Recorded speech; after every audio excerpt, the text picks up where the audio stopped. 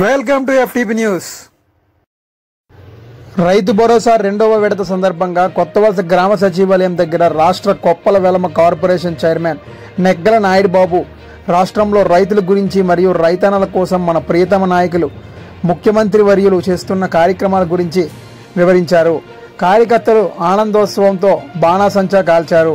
అనంతరం సీఎం జగన్మోహన్ రెడ్డి ఫోటోకి పాలాభిషేకం చేశారు. ఈ కార్యక్రమంలో పాల్గొన్న వారు మండల పార్టీ నాయకులు మేళాశ్రీ అప్పారావు గొర్రపల్లి శివ కర్రి శ్రీను పెంటాజీ బొంతల వెంకట్రావు బాబీ ఎంపీడీఓ శేషుబాబు ఈవో వెంకట్రావు సచివాల సిబ్బంది రైతులు మరియు కార్యకర్తలు పాల్గొన్నారు.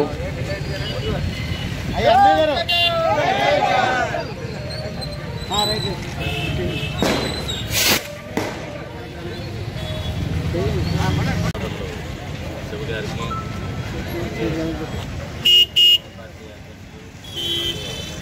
అయ్యర్ గా- అయ్యర్ కార్పొరేషన్ గారికి,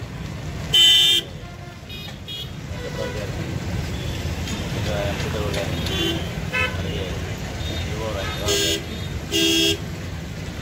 ఆ, ఇక్కడికి ఇచ్చేసినటువంటి పెద్దలందరికీ కూడా పేరు పేరున నమస్కారం తెలియజేస్తూ ఈరోజు ప్రతిష్టాత్మకంగా తీసుకున్నటువంటి ఈ రాష్ట్ర ప్రభుత్వం రైతాంగాన్ని ఆదుకోవాలనే ఒక ముఖ్యమైనటువంటి సదుద్దేశంతో రాష్ట్ర ముఖ్యమంత్రి వర్యులు మేరకు అలాగే ఈ శాసనసభ్యులు కడుపుండ శ్రీనివాసరావు గారి ఆధ్వర్యంలో ఈ కార్యక్రమాలు ఈ నియోజకవర్గంలో రైతు భరోసా రెండో విడత ఈ రోజు ఇచ్చిన సందర్భంగా అన్ని గ్రామాల్లో అన్ని మండలాల్లో నాయకులు కార్యకర్తలు ఎవరైతే లబ్ధిదారులు ఉన్నారో ఆ లబ్ధిదారులతోటి ఆయా గ్రామాల్లోని సచివాలయాలు కానీ ఆర్పీకే దగ్గర కానీ పండగ వాతావరణంలోని చేయాలనేటటువంటి ఆలోచనతోటే ఈరోజు కొత్త గ్రామ సచివాలయం ఆపోజిట్లో ఈ కార్యక్రమం నిర్వహించడం జరిగింది.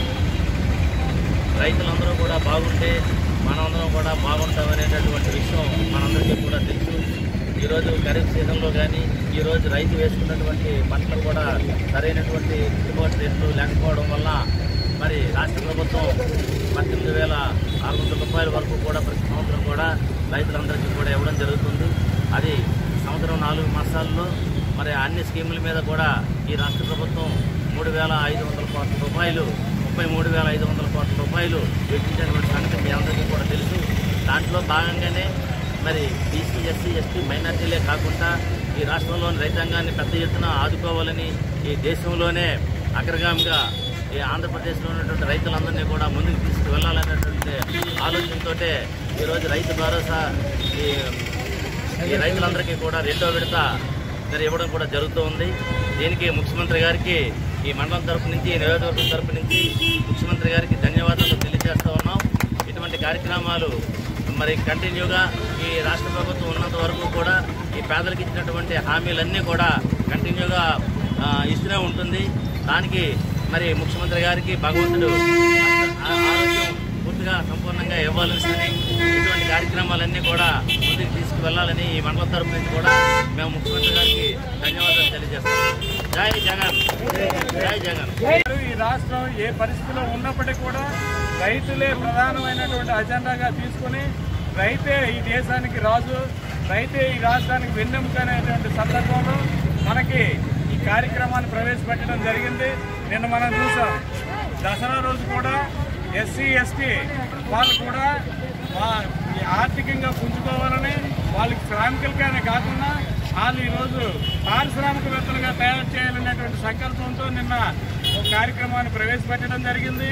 ఆ స- ఈ సందర్భంగా పార్టీ తరఫున కానివ్వండి అలాగే మండలంలో ఉన్నటువంటి ఎస్సీ ఎస్టీ అందరూ కూడా విద్యార్థులందరూ కూడా ఆ స్కీమ్ని ఉపయోగించుకుని తద్వారా ఆర్థికంగా బలపడాలని చెప్పి ఈ సభాముఖంగా తెలియజేసుకుంటూ ఈ సందర్భంగా మన రాష్ట్ర వెలమ కార్పొరేషన్